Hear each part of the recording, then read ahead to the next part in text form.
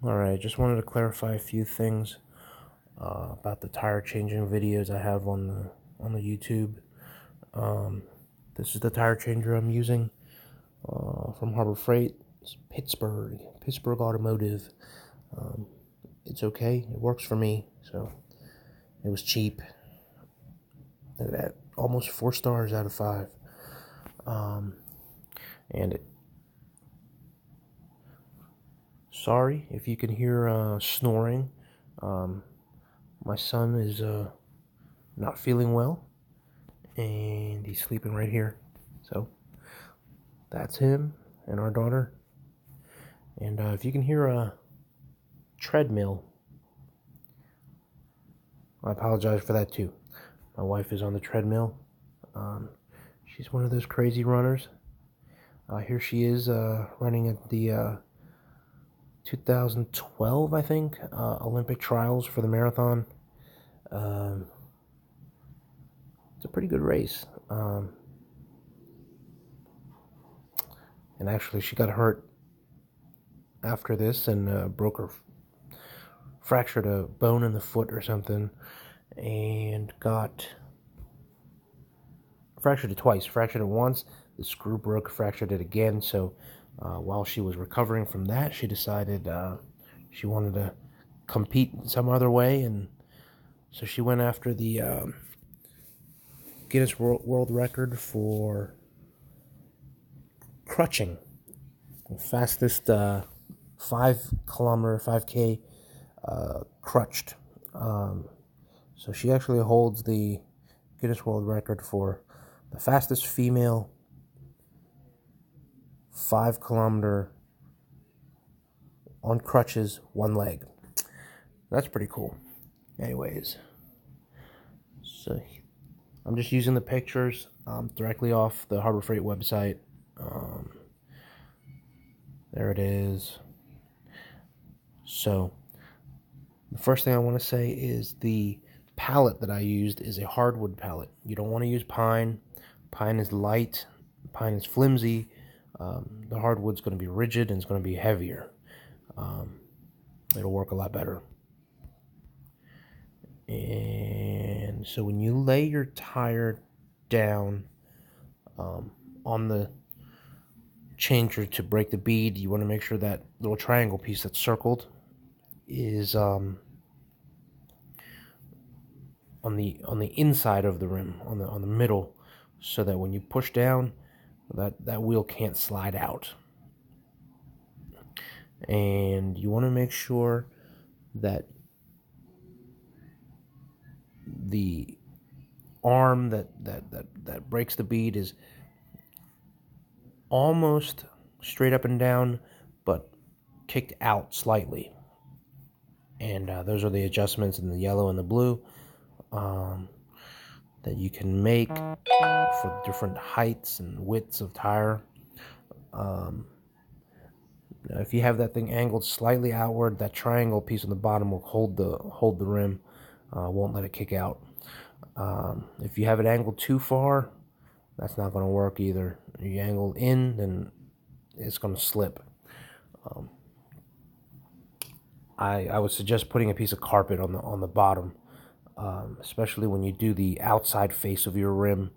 Uh, put a piece of carpet down and make sure that triangle piece fits into one of these holes in the side of the in in, in the wheel if if possible if not it should still work um, when you secure the wheel to the mount mounter um, you want to make sure you tighten that that um, that uh, threaded tube pretty tight.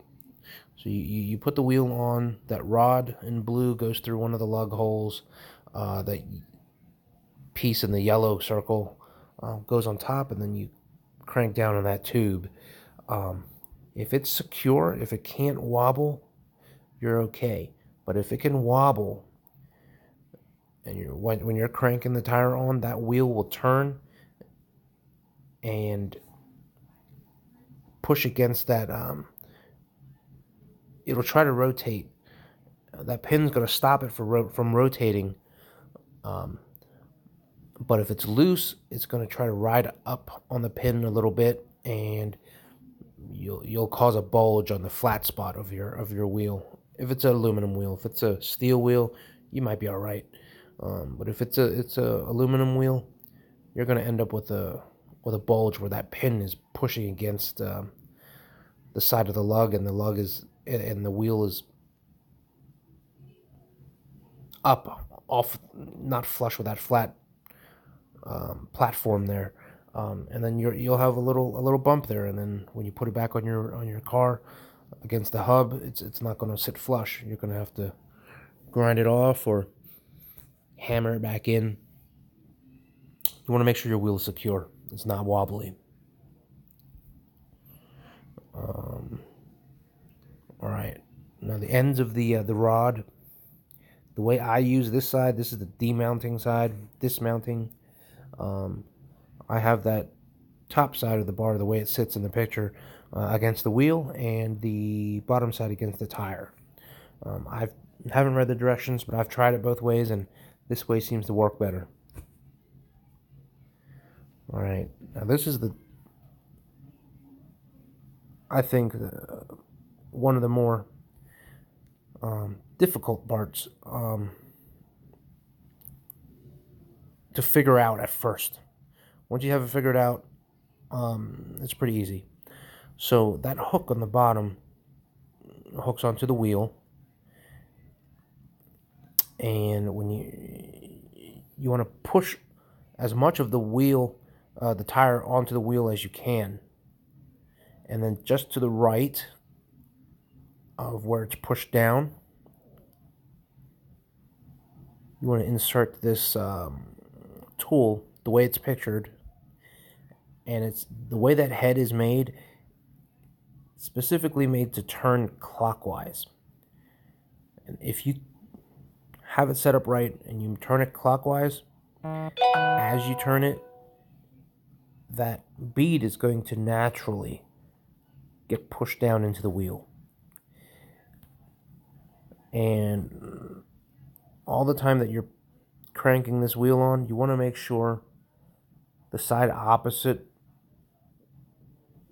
of the head of this bar is pushed down into the center of the wheel.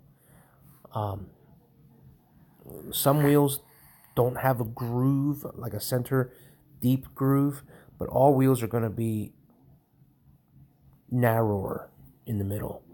Um, you need you need all the help you can get with that. The the bead is made to sit right on the um well the bead of the tire is made to sit right on the I guess the bead seat of the wheel. Um, it's a steel steel basically a giant steel cable inside the bead. Um, if you try to force it, you'll something's going to give. You'll you'll break the bead, you'll stretch the bead, or you'll break some of the um, rubber uh, where the bead is. Um, you can't force it. You're, I know you're forcing it on, but you got to make sure it's not sitting on the bead while you're forcing it on because uh, you're going to break something. Um, just practice take an old old tire off, crank the old tire back on. Um, do that a couple times, uh, figure it out. You definitely don't want to save money. Try to save money buying this uh, self mounter thing um, just to ruin your, your brand new tire. Um, the the lube, the lube I'm using is uh, Dawn dish soap with some water. Um, and when you get it, when you're mounting the tire, the new tire, don't use too, too much. You don't want to get liquid inside the wheel, uh, inside the tire. That's going to cause corrosion issues in the future. Um, you'll be driving um, maybe a year later. You're going to have slow leaks because there's moisture inside the tire. It's causing corrosion and, and it's going to leak at the beads. Um, so I think that's it. Uh, the future, maybe I will go ahead and uh, maybe do a close up of what I'm make a close up video of what I'm doing. Um, but I have all four tires on right now, are on right now, and there's probably going to be another three or four years before I, I put new ones on on it. Um, maybe if I do my sister in law's uh, tires, I'll, I'll make a video of it. But all right, thank you. Hope it helps.